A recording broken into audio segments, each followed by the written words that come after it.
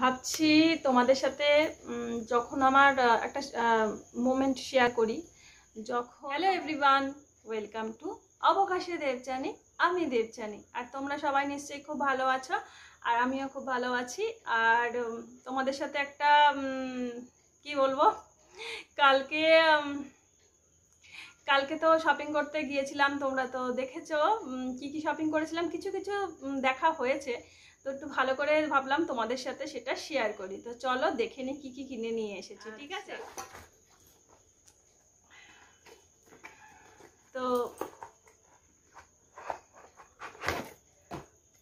দুটো তেলের বোতল নিয়ে এসেছি। এই দুটো আমার খুব দরকার ছিল। বেশ কয়েকদিন ধরে ভাবছি অনলাইনে অর্ডার দেবো আর দেওয়া হচ্ছিল না। আর একটা সাদা তেল, একটা সর্ষের তেল। সব ঝুলি থেকে বেরোচ্ছে, ঠিক আছে? আর হচ্ছে দুটো কাপ চা খাওয়ার জন্য।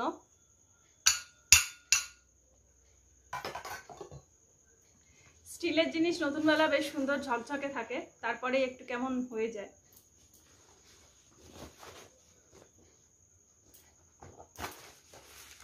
ঝুড়ি থেকে সব বেরোচ্ছে।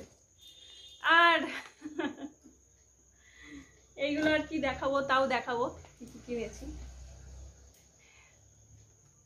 এইগুলো কিনেছি। তো রান্নাঘরের দরকারি জিনিস, এগুলো আমার ভীষণ পরিমাণে দরকার পড়ে। আবার একটা করে একটা করে ময়লা হয়, আবার সব জমিয়ে নিই, একসাথে আবার সব কটা কাচি। তো ওই জন্য আমার ভীষণ পরিমাণে এগুলো দরকার পড়ে। Kitchen towel.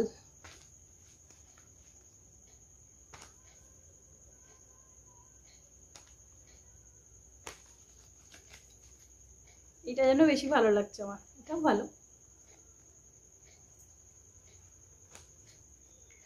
আর এটা তো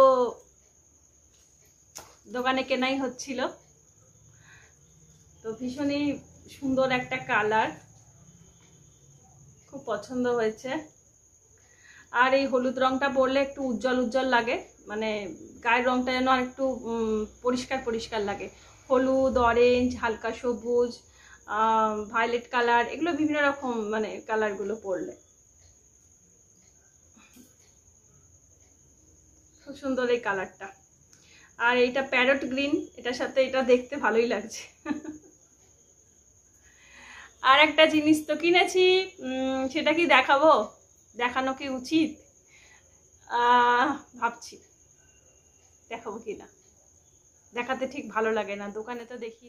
তো বেশ কয়েক বছর আগে, কালকে একটুখানি বলেছিলাম তোমাদেরকে শেয়ার করেছিলাম যে আমার পায়ের একটা চোট আছে। তো ওটা হচ্ছে দু হাজার সাত সালে পায়ে একটা চোট পেয়েছিলাম বা পায়ে। তো লিগামেন্টে চোট লিগামেন্টে চোট। তো লিগামেন্টে চোট হলে না এমনিতেও পাটা যদি ভেঙে যায়, তাতেও প্রবলেম হয় যে বেশি মানে বেশি কি হিল পরা যায় না। তো আমিও লিগামেন্টে চোট তো তো ওটাতে আমি হিল পরতে পারি না। সেই থেকে আমার হিল পরা একদম বন্ধ হয়ে গেছে। একদমই প্লেন চটি পরি।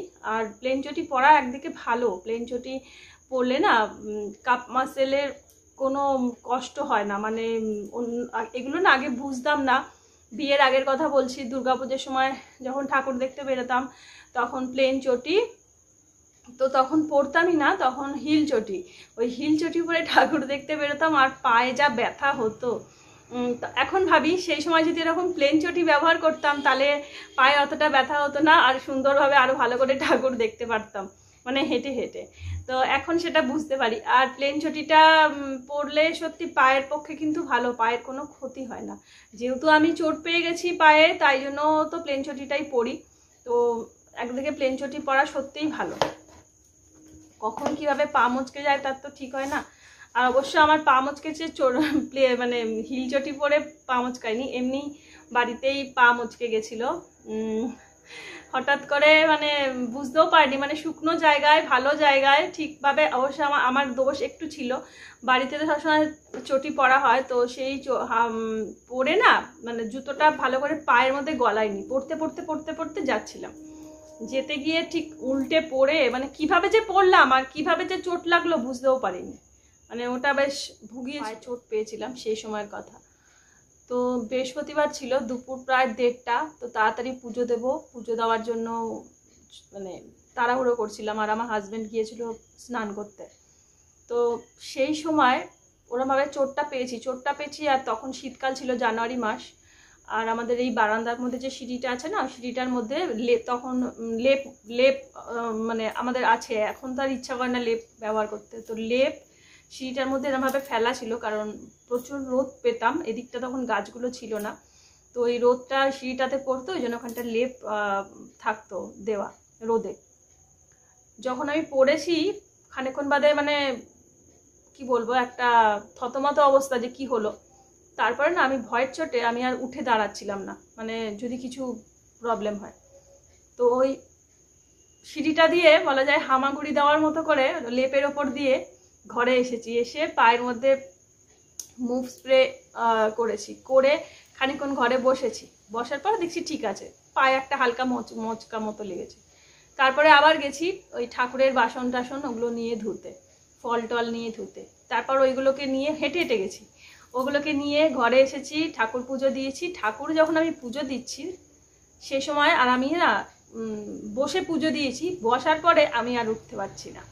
এইরকম একটা অবস্থা হয়েছে। আর আমার হাজব্যান্ড তো স্নানে গেছে, তো আমি তাকে কয়েকবার ডেকেছি কিন্তু সে তো শুনতে পাইনি তারপর আমি অপেক্ষা করছি, ও কখন স্নান সেরে ফিরবে। তারপর স্নান সেরে ফিরেছে। এবার আমি তখন বললাম, আমি এরকম পড়ে গেছি, আমি আর উঠতে পারছি না। মানে এরকম একটা অবস্থা। মানে সেই দিনটা সেই দিন কেন? সেই কয়েকটা মানে কিছুদিন আমার সাংঘাতিক অবস্থা হয়েছিল। মানে ওটা জানুয়ারির এগারো তারিখ ছিল। তারপরে তো ঘরে আসলাম, তারপরে খাওয়া দাওয়া করব, পা তো ফেলতেই পারছি না মানে পাটা ফেলতেই পারছি না। তো আমার হাজব্যান্ডই খাবার দাবার বেড়ে দিল, খেলাম টেলাম। তারপরে তো যা হয় একটু এই মলম, ওই মলম মানে ঘষা ঘষা বা ডলা ওরকম না স্প্রে ট্রে করা এইভাবে ছিলাম। আর আমাদের এখানে হঠাৎ করে কিছু হলে, বিশেষ করে আমাদের ঘরে মানে আমরা না ডাক্তার টাক্তার কোন ডাক্তার কোন দিন বসে, কারণ ডাক্তারের সেভাবে প্রয়োজন হয় না। ওরকম একটা ব্যাপার হয়ে গেছিল। আর সেই সময় বুঝতে পারছ, জানুয়ারির এগারো তারিখ মানে সাগর মেলার মরশুম এখানে কতটা ভিড়। তারপরে খোঁজ খবর নেওয়া হলো, ডাক্তার কি আছে, না আছে, তো সেদিনকে আর ট্রিটমেন্ট হলো না, তো পায়ের মধ্যে বরফ শেক টেক, এইভাবে এইভাবে ছিলাম। তারপরে বাড়িতে খবর দিলাম, মাকে খবর দেওয়া হলো মা বাবা দুজনে মানে সংক্রান্তির সময় ওই মানে আর কিছুদিন বাদে তো সংক্রান্তি, তো সেই সময় সব সময় আমরা দুশ্চিন্তায় থাকি যে কারও যদি কোনো শারীরিক প্রবলেম হয় বা হঠাৎ করে কলকাতায় ছুটতে হয় বা কলকাতা থেকে যদি কেউ এখানে আসে মানে খুব সাংঘাতিক একটা অবস্থা হয়, ভিড়ের মধ্যে পড়তে হয়। বাস ট্রেন কিছুই ফাঁকা পাওয়া যায় না। তো ভীষণই কষ্ট। তখন কিন্তু সাগরমেলাটা আমাদের মাথাতেও আসেনি মানে সেই সেই সময়টাতে। তো আবার মা বাবাকে খবর দেওয়া হলো। দুপুরে আমি সেভাবে আর বলিনি যে এরম এরম প্রবলেম হয়েছে। সন্ধেবেলা বলেছি। তা মা বলল, ঠিক আছে, তো বাবা আসুক, তারপর আমি যাব। তারপরে মা, বাবা দুজনে পরের দিন ভোরবেলা চারটের সময় বাড়ি থেকে বেরিয়েছে। শীতের সকাল মানে ভাবো তাহলে মানে কতটা কষ্ট করে মা বাবা যা হয়, ছেলে মেয়ের কোনো প্রবলেম হলে তো ছুটতে আসে। তারপরে তো ভোরবেলায় চারটে থেকে চারটের সময় বাবা মা বেরিয়েছে। বেরিয়ে এখানে যখন এসেছে মানে আমি তো আর বিছানা থেকে নামতেই পারছি না। সকালবেলার যে চাটা খাব সেটাও খেতে পারছি না। ঠাকুর মানে মানে তখন কি ব্যাপারটা ছিল? আমার বাড়িতে কাজের লোক ছিল। ওই জন্য আমার সেভাবে অতটা কষ্ট হয়নি।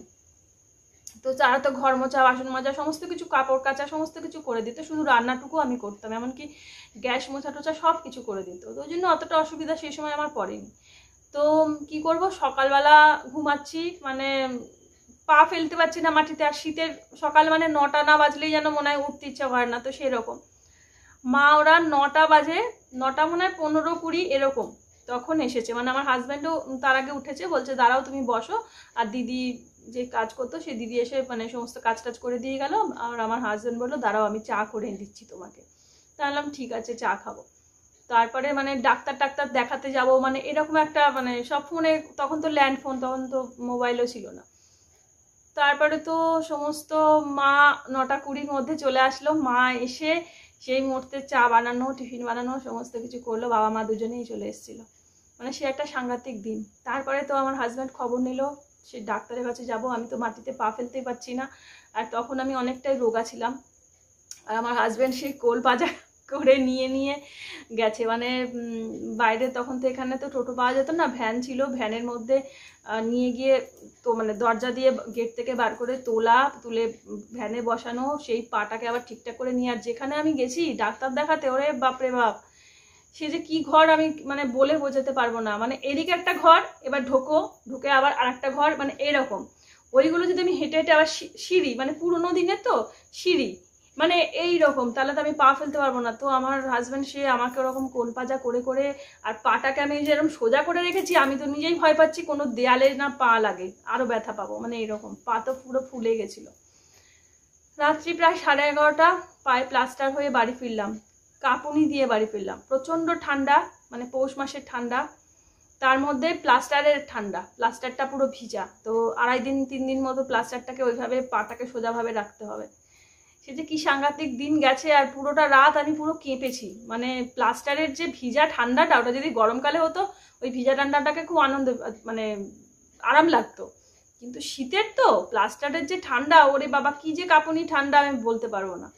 তো ওটা প্রায় মনে হয় এক মাসের ওপরে এক মাস, এক সপ্তাহ এরকম মনে ছিল। আমি পুরো বেড রেস্টেই ছিলাম। ওই এক মাস বিছানায় থেকে থেকে পুরো মোটা হয়ে গেছিলাম। হেলদি হয়ে গেছিলাম প্রচুর। কারণ ক্যালসিয়ামের বিভিন্ন রকম তো ওষুধ টষুধ খেতে হতো। আর ওই ওজন বেড়ে গেছিল, তো আমার মা এখানে ছিল। সেই সময়টা অনেকটা কষ্ট পেয়েছি। আর মানে এখন না ওই জন্য একটু ভয় লাগে। হাঁটা চলাও যেন একটু সাবধানে করি, তাহলেও যেন একটু ভয় লাগে। হ্যাঁ পাটা নিয়ে এখন এমনি কোনো সমস্যা হয় না। বলে যে আমাবস্যা পূর্ণিমা, বিভিন্ন রকম সমস্যা, ওগুলো কিছু হয় না। হ্যাঁ মাঝে মাঝে একটু ফোলে পা, যদি অনেকক্ষণ ঝুলিয়ে রাখি পা তাহলে তো হয়। আর উঁচু নিচু রাস্তা মানে হয়তো একটু উঁচু আছে, উঁচুটার মধ্যে পাটা না এরকম একটু এরাম এরাম হয়ে গেলে ব্যাস, পাটা খানিক্ষণ একটু মানে খ্যাঁচ করে একটু লাগে খানিক্ষণের জন্য আবার ঠিক হয়ে যায়। তো সেই থেকে আমি আর হিল চটি করতে পারি না। হিল চটি করতে আমি ভীষণ ভালোবাসতাম। আর আমায়, আমি আর আমার হাজব্যান্ড আমার হাজব্যান্ড খুব একটা বেশি লম্বা না যে তার সাথে হিল চটি করতে হবে। এমনি দুজনে ঠিক আছি। মানে টোনাটুনির হাইট ঠিকঠাকই আছে, অত অসুবিধা হয় না যে হিল চটি করব হ্যাঁ হিল চটিগুলোর ডিজাইনগুলো বেশি সুন্দর হয়, প্লেন চটির ডিজাইন অতটা সুন্দর হয় না, এটা একটা ব্যাপার। হিলের ডিজাইনগুলো, হিল চটিগুলো মানে হিল জু, হিল জুতোর ডিজাইন অনেক সুন্দর সুন্দর হয়। তো ওই জন্য পামশুগুলো পরি, প্লেন চটি পরি, সেই বেশ অনেক বছর ধরে আর হিল চটি আর পরা হয় না। হিল চটি পরলেও মানে ভয় লাগে, পায়ে লাগে, ব্যথা হয়। তো আজকে তোমাদের সাথে শপিংয়ের গল্প করতে করতে কোথায় চলে গেলাম দেখো। তো যাক, আমার একটা মানে অসুস্থতা বলা যায়, তো সেই সেই সময়ের একটা মোমেন্ট তোমাদের সাথে একটু শেয়ার করলাম।